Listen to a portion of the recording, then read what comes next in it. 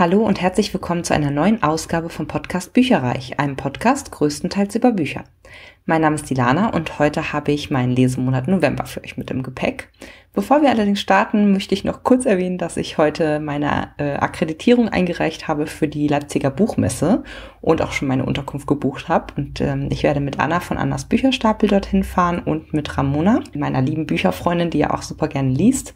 Und ich freue mich schon total. Wir haben schon eine kleine WhatsApp-Gruppe und haben uns die letzten Tage total wie abgesprochen und freuen uns schon alle drei wahnsinnig darauf. Eine ganz tolle Airbnb-Wohnung gebucht und ja, werden wahrscheinlich vom 12. bis 15.3. Äh, auch da sein. Das ist, glaube ich, auch die komplette Laufzeit sozusagen für die, ähm, fürs Publikum. Und das ist ein Donnerstag bis einschließlich Sonntag. Und ja, wir haben schon mal so ganz grob überlegt, dass wir halt am Donnerstag einfach, ja, über die Buchmesse schlendern, abends dann in das äh, Hotel, wollte ich gerade sagen, in die Unterkunft. Und ja, Freitag, Samstag auch im Grunde volle Möhre äh, ins Messegeschehen eintauchen, um dann am Sonntag ja nochmal ein eher so den Tag zur Abreise zu nutzen und äh, vielleicht von Leipzig noch ein bisschen was zu sehen. Ich freue mich richtig doll drauf, auch wenn es meinem Subabbau nicht gut tun wird, das weiß ich jetzt schon. Aber ähm, ja, es wird sehr, sehr schön und es ist wie so eine Art Kurzurlaub und ich freue mich total drauf. Würde mich mal interessieren, wer vielleicht auch von meinen Zuhörern plant, dorthin zu fahren, weil man könnte sich ja vielleicht mal treffen. Oder vielleicht habt ihr auch noch den einen oder anderen Tipp für mich, obwohl ich glaube, dass das Programm noch gar nicht richtig feststeht. Da kümmere ich mich jetzt auch ehrlich gesagt noch überhaupt nicht drum, sondern lasse es erstmal auf mich zukommen und freue mich einfach, dass die Rahmendaten durch sind, Urlaub genommen und Unterkunft und Akkreditierung, wie gesagt, läuft gerade. Freue mich schon richtig drauf und äh, bin ganz, ganz gespannt. Letztes Mal hat es mir super gut gefallen. Nun aber auf zu meinem Lesemonat November. Und zwar war das Motto äh, in diesem Monat Reihen zu beenden. Das ist es auch noch im Dezember. Und ähm, ja, das ist so eine Aufgabe, die ich mir selber gestellt habe, sage ich jetzt mal, weil ich es immer ganz gerne mag, wenn man möglichst viele lose Enden wirklich zum äh, Ende des Jahres auch verknüpft hat. Und wenn man eine Reihe gerade angefangen hat oder wenn man halt eine Reihe ähm, noch offen hat, dass man die halt irgendwie zu Ende liest, das finde ich mal ganz schön. Und dementsprechend habe ich auch das ein oder andere Buch gelesen, was ein rein Abschluss ist in diesem Monat. Insgesamt sind es nur vier Bücher gewesen, ein normales Buch und drei Hörbücher. Aber die waren intensiv und schön und interessant und deswegen erzähle ich euch jetzt davon. Das erste Hörbuch, was ich gehört habe, ist ein Rezensionsexemplar aus dem Argon Verlag gewesen und zwar Zimt und Verwünscht von Dagmar Bach. Die Reihe habe ich dieses Jahr ja komplett gesuchtet, also äh, hatte das irgendwie im glaube Ostern 2017 von meiner Mutter den ersten Band als normales Buch ähm, geschenkt bekommen und habe dann netterweise vom Verlag eben die zwei Nachfolger und das ist jetzt nochmal so eine Art Nachklappbuch zur Verfügung gestellt bekommen. Das ist jetzt, ähm, wie gesagt, eher so eine Art nachträgliches Buch. Eigentlich soll es ursprünglich eine Trilogie werden und jetzt ist es irgendwie noch ein viertes Buch sozusagen dazugekommen. Das hat jetzt eine Laufzeit von knapp vier Stunden, also auch relativ kurz in dem Sinne ähm, und war wieder kindlich hoch gelesen von Christiane Marx. Wie schon mal bei den Vormonaten erwähnt, wo ich die Vorgängerbände gehabt hatte. Christiane Marx liest normalerweise sehr, sehr gut. Sie liest sehr pointiert und gekonnt. Das macht sie hier auch. Mir persönlich gefällt die Interpretation nicht, dass es so ein bisschen sehr kindlich hoch ist. Das kenne ich, wie gesagt, aus anderen ähm, Hörbüchern von ihr anders und das hat, macht sie sicherlich extra sozusagen, weil halt äh, das von einem Kind bzw. einer Jugendlichen halt handelt und erzählt wird. Aber mir ist es persönlich ein bisschen zu hoch. Aber ich habe ja allgemein ein Problem mit kindlichen Stimmen in Hörbüchern. Da habe ich schon sehr, sehr schlechte Erfahrungen mitgemacht, beziehungsweise das gefällt mir häufig nicht so gut. Also das ist wie gesagt eine Art Sequel zu, einer, zu dieser Trilogie und es ist eine recht kurze Geschichte eigentlich. Vicky fährt mit ihren Freunden in die nächstgelegene große Stadt, verliert sie dann aber aus den Augen und ja, springt auch zu einem Überfluss wieder in eine Parallelwelt und dort ist sie eine ambitionierte Schwimmerin ohne Freunde und ist halt auch mit einem ähm, Jungen zusammen, der heißt Jan und der ist super fürsorglich und dann kriegt sie richtig schlechte Gewissen, dass sie ja eigentlich einen äh, anderen Freund hat so und der ist aber in der Welt auch fremd vergeben. Zusätzlich lernt sie noch ein gleichaltriges Mädchen kennen, das heißt Lina und die hat irgendein Geheimnis, scheint die zu haben. Da muss Vicky natürlich ihre Nase reinstecken. Die ist ja immer super neugierig. Sie versucht halt dahinter zu kommen. Ich bin aber der Meinung, das wurde nicht wirklich final aufgeklärt, was denn da los ist mit der. Also äh, höchstens ein Teil des Geheimnisses, sage ich jetzt mal. Also äh, das schreit eigentlich nach noch mal einer Fortsetzung oder nach irgendeiner Kurzgeschichte zu dem Thema. Wurde relativ offen gelassen. Dann gab es noch eine versteckte Kurzgeschichte hinten dran und die hieß passenderweise Zimt und Versteckt. Äh, darin ging es dann nochmal um so eine Art Ostereiersuche als Wettkampf. Ähm, das hat sich Vickys Mutter für ihre B&B-Gäste ausgedacht und das war ganz unterhaltsam, aber da ist irgendwie nicht so wirklich viel passiert. Ich würde dem Hörbuch vier Sterne geben und habe hier auch nochmal einen relativ langen Ausschnitt für euch, dass ihr euch mal ein eigenes Bild machen könnt. Beinahe hatte ich vergessen, wie es sich anfühlte, in Parallelwelten zu springen. Mein letzter Sprung war schon ein paar Wochen her. Wochen himmlischer Ruhe und Unaufgeregtheit. Denn solche Parallelweltsprünge versprachen meistens nicht viel mehr als Stress und Ärger. Ich sage nur Schwimmwettkampf. Und auf beides konnte ich ganz prima verzichten. Na, mal sehen, ob Konstantin sich heute auch freute, wo er so scharf darauf war, einen von Mams Hauptpreisen zu gewinnen. Denn ob das jetzt noch klappen würde, mit unseren Parallel-Ichs an unserer Stelle bei der Schnitzeljagd, wagte ich zu bezweifeln. Normalerweise waren die immer total durcheinander, weil sie überhaupt nicht wussten, was los war, und taten, im besten Fall, gar nichts. Im ungünstigsten Fall machten sie irgendwelche komischen Sachen, die Konstantin und mich in Schwierigkeiten brachten. Obligatorisches Zimmer verwüsten und doofe Ferienjobs aufhalten waren da nur der Anfang. Darum konnte ich mir nur gerade leider keine Gedanken machen, denn ich musste erst mal selber sehen, wo ich gelandet war. Ein eisig kalter Wind pfiff mir in der Parallelwelt um die Nase und wehte mir die Haare ins Gesicht. Zwischen meinen braunen Strähnen konnte ich Grün erkennen, eine Wiese, und ich hatte meine Knie gebeugt, als ob ich gerade in die Hocke gehen wollte. So bleiben, Vicky, hörte ich meine Parallelmam rufen, und ich verharrte in der Bewegung, obwohl ich keine Ahnung hatte, was sie meinte. Aber ich war mittlerweile trainiert darauf, in der Parallelwelt möglichst nicht aufzufallen und ganz in die Rolle der jeweils anderen Vicky zu schlüpfen. Und ich versuchte stillzuhalten. Und das hätte ich auch wirklich hinbekommen, ehrlich, wenn nicht plötzlich jemand hinter mich getreten wäre und mir ins Ohr geplärt hätte. Mö! Vor Schreck verlor ich das Gleichgewicht in meiner komischen Körperhaltung und fing an, wild mit den Armen zu rudern. Mit einem dumpfen Aufprall ging ich zu Boden.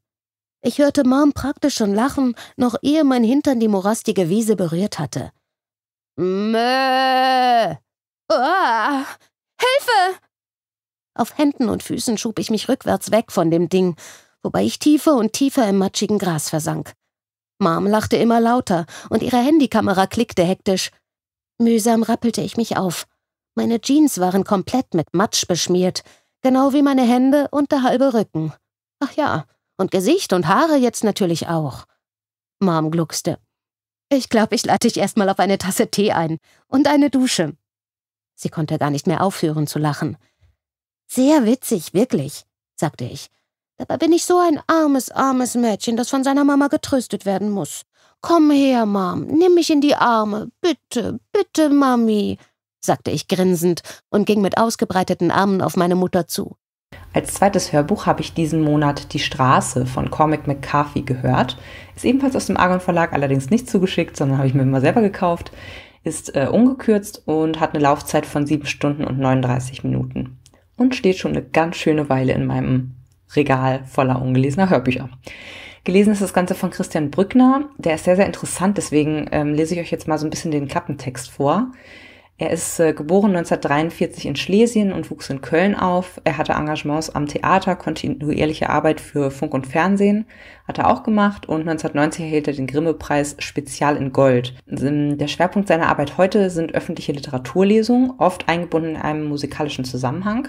Und er hat 2000 den Hörbuchverlag Palando mit seiner Frau Waltraud gegründet dessen komplettes Werk sozusagen wurde 2005 mit dem Deutschen Hörbuchpreis äh, ausgezeichnet und dem Christian Brückner wurde 2012 der Sonderpreis für sein Lebenswerk verliehen. 2017 hat er noch einen Ehrenpreis der deutschen Schallplattenkritik und 2018 das Bundesverdienstkreuz erste Klasse bekommen. Also hoch dotiert, sage ich jetzt mal. Und er hatte auch eine super angenehme Stimme. Das war so ein bisschen wie so ein Märchenonkel, fand ich. Er hat das sehr, sehr gut gelesen und das hat total zur Geschichte irgendwie gepasst leicht melancholisch und ein bisschen bedrückt, aber halt auch irgendwie warm. Ich hatte ihn, glaube ich, noch nie vorher gehört, obwohl er bei Audible hat er echt 200 Titel oder so. Allerdings auch größtenteils so, was ich mal so durchgescrollt habe, so Abenteurer oder auch so Männerliteratur. Also deswegen hat das wahrscheinlich einfach wenig Überschneidung mit meinem Leseverhalten. Zum Beispiel hat er in Eisige Höhen von John Krakauer gelesen. Äh, das ist ja dieser Bergsteiger gewesen. Also vielleicht lag es daran. Auf jeden Fall hat es mir sehr, sehr gut gefallen. Und worum geht es überhaupt in dem äh, Buch oder Hörbuch Die Straße? Ähm, es geht, und da muss ich leider den offiziellen Klappentext für ein, zwei äh, Sätze mal ausborgen, weil das konnte ich einfach nicht besser beschreiben. Ein Vater und sein Sohn, beide bleiben namenlos, wandern durch das verbrannte Amerika. Sie haben nichts als einen Revolver mit zwei Schuss Munition, ihre Kleider am Leib, eine Einkaufskarre mit der nötigsten Habe und sie haben sich. Ich finde, das beschreibt äh, sehr, sehr, sehr gut. Der Sohn kam mir vor, war relativ klein. Der Vater kümmert sich und den Umständen entsprechend sehr gut um ihn. Und die wandern und wandern. Das Ziel ist äh, Süden, Wärme, weg vom Schnee, denn das Ende des Jahres nähert sich. Sehr passend zum äh, aktuellen Jahr auch. Und sie leiden ständig Hunger oder frieren eigentlich. Und bei dieser Wanderung oder auch Flucht, sie bezeichnen sich selbst nämlich als Flüchtlinge, müssen sie eigentlich ständig auf der Hut sein vor anderen Menschen. Ähm, davon gibt es eigentlich erstaunlich wenige noch. Das ist so ein bisschen postapokalyptisch halt. Aber die sind doppelt gefährlich. Also Vergewaltigung, Kannibalismus sind da echt an der Tagesordnung. Und Vater und Sohn überstehen auch einige Situationen, die super, super brenzlig sind. Es gibt auch Rückblenden, allerdings nur ganz kurze und dort wird dann natürlich das Leben zuvor geschildert. Zum Beispiel, wie die Frau des Mannes sich das Leben nimmt, weil sie es in dieser Postapokalypse einfach nicht mehr aushält. Sie möchte niemandem in die Hände fallen, der sie foltert, vergewaltigt, aufisst oder ähnliches. Ganz kurz blitzt auch der Grund für die Einöde auf. Der Beginn von allem so mit Stromausfall und dem geistesgegenwärtigen Mann, der eben Trinkwasser in die Badewanne einlässt, solange er noch Zeit dafür hat. Aber richtig erklärt wird das Ganze halt nicht. Also es ist wirklich ein super kurzer Aus, äh, Aus- bzw. Rückblick. Und die Sonne ist nicht richtig zu sehen. Es wird immer dunkler und grauer. Ähm, der, den Vater plagt ein unheilvoller Husten, dessen Ursache aber auch nicht weiter beschrieben wird. Ja, und zwischendurch habe ich gedacht, Hä? also ich habe das tatsächlich auch nicht verstanden. Äh, und zwar diese die Vegetation, die man dort, die dort beschrieben wird, wird halt als verdorrt beschrieben ganz häufig. Und ich wunderte mich schon, ob der Autor irgendwie denkt, dass die Natur ohne die Pflege vom Menschen irgendwie kaputt gehen würde. Aber ja, laut Klappenbeschreibung war es ein Feuer und das wird aber erst auf CD 5 von 6 oder so erwähnt. Also da muss ich echt sagen, da, da habe ich super lange gebraucht, um das zu schnallen. Es war immer so ein bisschen eingewebt mit dieser äh, Vegetation, so dass sie halt so grau aussieht und verwelkt und keine Ahnung was, aber irgendwie habe ich das überhaupt nicht geschnallt, alles so. Fand ich ganz lustig. Also ja, wurde erst sehr, sehr spät erwähnt. Die Atmosphäre ist eigentlich die ganze Zeit über bedrückend, ist so diese Verzweiflung, diese Angst vor dem, was kommen könnte und um den eigenen Sohn auch. Dann die unerbittliche Natur und das man ist so richtig, oder die, die Protagonisten sind so richtig abgestumpft. Also dieses Menschsein geht verloren. Sie sehen zum Beispiel einen Mann, der vom Blitz getroffen ähm, vor ihnen über die Straße wankt, lassen ihn dann zum Sterben liegen. Was kann man auch tun? Also, ne, er wurde ja schon getroffen. Ja, der Junge kennt auch nichts außer diese Welt und muss eigentlich häufig so Alltagsdinge wie zum Beispiel Staudämme erfragen, was das denn konkret ist. Trotzdem fand ich den viel menschlicher als sein abgestumpfter, ängstlicher Vater. Also der, wie gesagt, weiß es vielleicht auch besser, keine Ahnung, hat mehr Lebenserfahrung, aber der Junge war da deutlich menschlicher in vielen, vielen Situationen. An einigen Stellen war es mir ein bisschen zu biblisch oder esoterisch, besonders zu Beginn, zum Schluss ging es dann einigermaßen und auch so ein bisschen schwulstig. Also da merkt man wirklich, dass es von Comic McCarthy geschrieben wurde, von dem habe ich schon mal ein Buch gelesen, das war ähnlich. Das Grundthema war total interessant und es war auch nicht schlecht geschrieben, aber es schweift halt manchmal aus und ähm, in diesem Fall ist es sogar so, dass Vater und Sohn eigentlich ein recht eingeschränktes Vokabular benutzen. Also sie sagen sehr oft einfach nur ja, ich weiß nicht, okay. Und der Junge fragt dann eben auch sowas wie, ähm, was ist das, Papa? Oder was ist los, Papa? Oder sagt irgendwie auch oft, ich habe Angst. So, und sie haben sich da irgendwie so, so eingependelt mit, sage ich jetzt mal.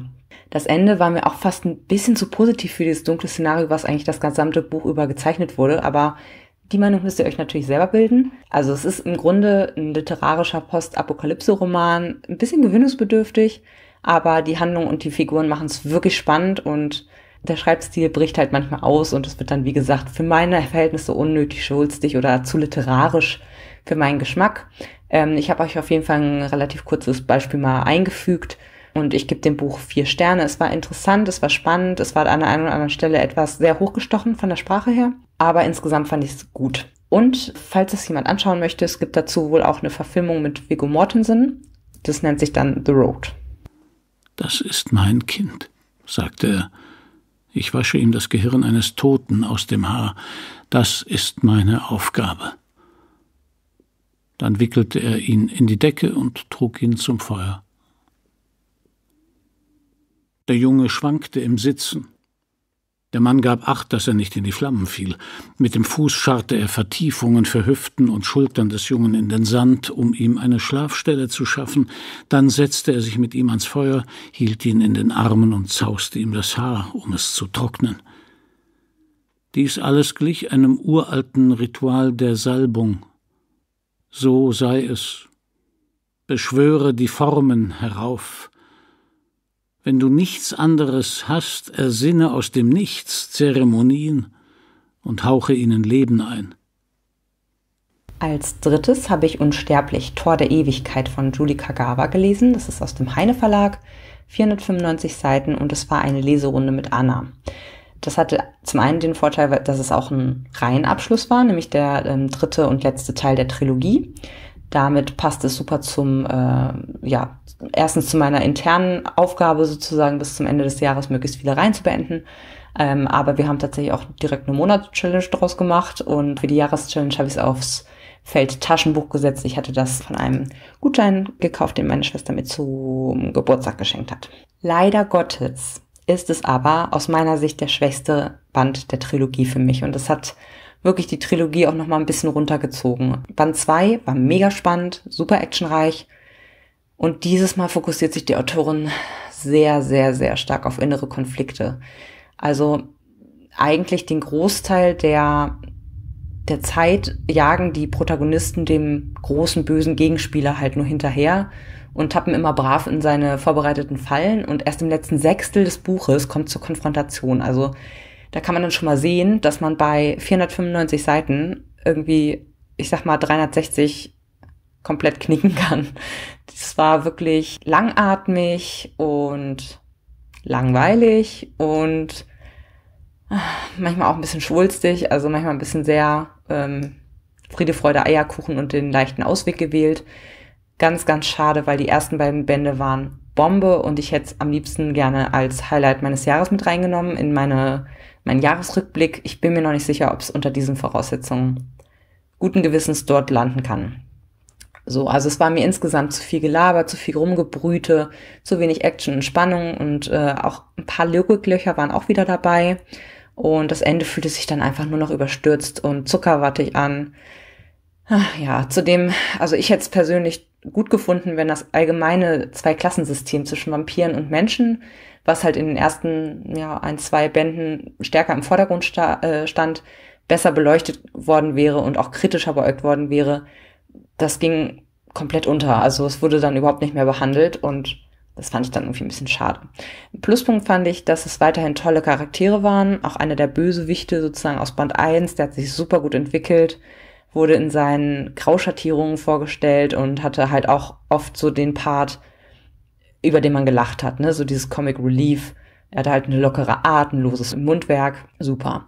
Also insgesamt würde ich dem Buch leider nur drei Sterne geben. Und recht frisch beendet habe ich King of Scars, Thron aus Gold und Asche von Lipa Dugo. Das ist auch ein Rezensionsexemplar aus dem Argon Verlag gewesen. Mit knapp über 17 Stunden hat es auch ein bisschen gedauert, bis ich das beendet habe. Und ähm, das ist um eine Stunde leicht gekürzt. Es gibt ähm, die lange Version sozusagen oder die ungekürzte Version auf Audible und das ist dann ja knapp über 18 Stunden lang. Der Sprecher dieses Mal war Robert Frank, der spricht unter anderem auch Nevernight oder Artemis Fowl, aber auch Hawker Nessa und Tana French und der hat das wirklich sehr gut gemacht und allen auch so ein bisschen ihre individuelle Stimme gegeben durch so verschiedene Aussprachen und Sprechweisen und so weiter. Aber ich muss sagen, ich hatte noch ein bisschen Frank Stieren im Kopf. Das ist der Sprecher von den vorherigen Cass Brecker Büchern. Äh, wie heißen sie noch? Das Lied der Krähen, das Gold der Krähen.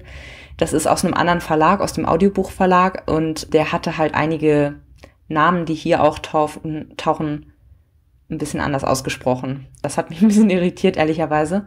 Ja, ist immer blöd, wenn man sozusagen in der gleichen im gleichen Universum, ne, das ist ja dieses Grishaverse, dann zwei unterschiedliche Sprecher hat und die Sachen halt unterschiedlich betonen oder aussprechen, kommt einem dann beim zweiten Mal immer komischer vor als beim allerersten Mal, wo man es hört. Aber ja gut, also das, das fällt einem dann einfach nur auf, aber er hat es echt wirklich gut gesprochen und hat mir sehr gut gefallen. Hier geht es um den Zaren Nikolai, der sein Land Ravka nach einem langen Krieg und auch wirklich einer großen Beutelung durch böse Herrscher wieder aufbauen möchte. Die Nachbarländer von ihm hoffen aber auf Schwäche, um sich das Land einzuverleiben und gleichzeitig hat er noch mit einer Art ja, Krankheit kann man fast nicht sagen, eigentlich einem Befall durch eine dunkle Kreatur zu kämpfen, in die er sich Nacht um Nacht verwandelt. Das ist jetzt nicht gespoilert, denn das wird in den ersten 20 Minuten erzählt, habe ich auch gleich nochmal einen Ausschnitt für euch. Genau, vorweg, meine Einschätzung, ich würde die Geschichte nicht lesen, ohne die Vorbände zu kennen. Also diese, ähm, auf Englisch heißt die Rune and Rising äh, Reihe und diese Glory or Grave-Reihe, ne? also die Grisha-Trilogie und das Lied oder Gold der Krähen, weil es wird aus meiner Sicht viel darauf angespielt. Nikolai hat den Dämon erst seit der Bekämpfung des Dunklen aus der Grisha-Trilogie in sich. Alina Starkova aus der Reihe wird oft erwähnt, Cass Brecker aus der anderen, Nina hat hier ebenfalls eine Nebenrolle. Wir folgen ihr aktiv. Es wird einiges gespoilert aus den Vorbänden und auch an Wissen um diese Grisha-Welt wird einfach auch vorausgesetzt. Ne? Also ich sag mal, hätte ich die nicht gelesen, hätte ich mich wohl irgendwie wäre ich wahrscheinlich komplett verloren in dieser riesigen Fantasy-Welt, wo es ganz viele russisch angehauchte Namen und sowas gibt und ja, wer, wer will da denn jetzt mit wem und wer sind eigentlich diese Schuhe und so? Ich glaube, das ist schwierig. Ich sage nicht unmöglich, aber ich glaube, es ist schwierig, sich das durchzulesen und dann nicht zu fragen, weil die, die, diese Welt wurde einfach aufgebaut. Und wenn man das nicht weiß, dann wird es, glaube ich, ein bisschen schwieriger zu lesen. Ich würde es nicht machen. Ansonsten hat mich das Buch gut unterhalten. Es war mir an einigen Stellen zu langatmig insbesondere weil es so viel um politische Ränkespiele, Kriegsführung, Strategie und sowas geht. Außerdem geht es darum, wie man mit religiösen Kulten umgeht und dem Kampf gegen das Böse. Positiv fand ich, dass alles mit einem charmanten Augenzwinkern erzählt wird und es gibt auch immer zwischen dem Protagonisten Nikolai und seiner rechten Hand und Kommandantin so ja immer wieder lustige Wortspiele und Schlagabtäusche und sowas. Das war echt super. Nikolais Mission Ravka wieder zu alter Macht und Wohlstand zu verhelfen, während er gleichzeitig zu vertuschen versucht, dass da so eine Art Dämon in ihm schlummert, wird eigentlich torpediert durch neue religiöse Wunder und Zeichen und Vorkommnisse, zum Beispiel eine weinende Heiligenstatue und daraus erwächst halt äh, ein Kult, der den Dunklen verehrt. Ja, und anstatt also eine geeignete Braut zu finden, begibt er sich in die ehemalige Schattenflur und das hätte er vielleicht sein lassen sollen. Dann gibt's noch einen neuen Charakter, der heißt Yuri und das ist einer von diesen äh, Verehrern aus diesem Kult da, der den Dunklen verehrt. Der hat so maximal genervt. Oh mein Gott. Ich meine, er ist extra so geschrieben worden, aber der hatte so eine Naivität und eine Sprechweise auch an sich das war so wie Jar Binks in den Star Wars Filmen, ey. so nervig. Ich konnte es einfach nicht. Geht gar nicht, der Typ. Also ein richtiger Nervcharakter. Und gleichzeitig gibt's dann noch diesen kleineren Handlungsstrang, der Nina verfolgt aus der Cass Brecker-Reihe, wie sie im Feindesland spioniert und auf ein unglaubliches Geheimnis stößt. Insgesamt gebe ich dem Hörbuch vier Sterne, aber ich habe sehr lange geschwankt, ob es nicht drei sein sollten. Es soll Fortsetzung geben und ich bin sehr gespannt, wie es mit dem Protagonisten weitergeht. Und jetzt gibt es für euch einen kleinen Ausschnitt aus dem Hörbuch. Der Blick des Monsters heftete sich sofort auf Dima, und plötzlich war die Kreatur nur noch Zentimeter von ihm entfernt und ragte über ihm auf. Das graue Mondlicht fiel auf die Gestalt, und Dima erkannte, dass die dunklen Flecken um das Maul und auf der Brust Blut waren. Die Kreatur beugte sich vor, sog tief die Luft ein. Aus der Nähe hatte sie die Züge eines jungen Mannes. Doch dann teilten sich die Lippen, die Mundwinkel zogen sich zurück und lange schwarze Reißzähne kamen zum Vorschein. Es lächelte. Das Monster lächelte, weil es wusste, dass es bald satt sein würde.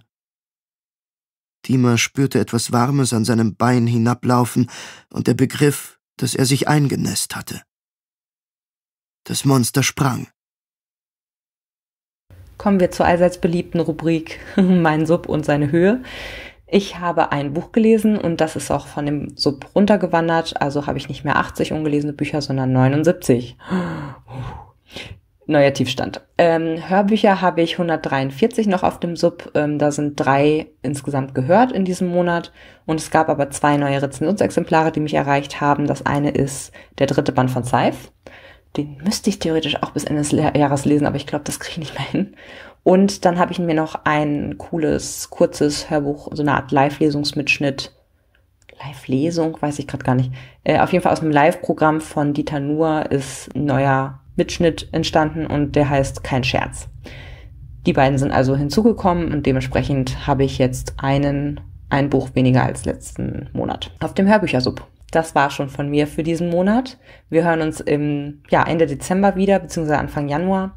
Da werde ich dann den Lesemonat Dezember für euch haben und wie jedes Jahr werde ich auch einen Jahresrückblick veröffentlichen, wo ich meine Tops und Flops erwähne, paar Statistiken noch ähm, veröffentliche, natürlich auch Versprecher und die gesamten äh, ja, Blooper des ganzen Jahres irgendwie äh, nochmal zeige und auch mal ein bisschen erzähle, was mein Jahresvorhaben für 2020 dann ist. Wie schnell dieses Jahr rumgegangen ist, oh mein Gott.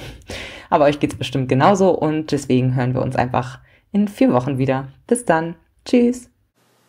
Informationen zu allen Büchern, über die ich heute gesprochen habe, findet ihr auf meiner Website www.bücherreich.net mit UE. Ihr könnt dort oder auf Facebook unter www.facebook.de slash podcastbuicherreich in einem Wort durch mit mir in Kontakt treten. Meine E-Mail-Adresse lautet buicherreich at gmail.com. Wenn ihr diesen Podcast über iTunes abonniert habt, würde ich mich riesig freuen, wenn ihr mir eine 5-Sterne-Bewertung hinterlasst. Dies ist ein privater Buch-Podcast, in dem ich nur meine eigene private Meinung wiedergebe. Wenn mir ein Buch oder Hörbuch kostenlos zur Verfügung gestellt wird, kennzeichne ich es entsprechend auf meiner Website.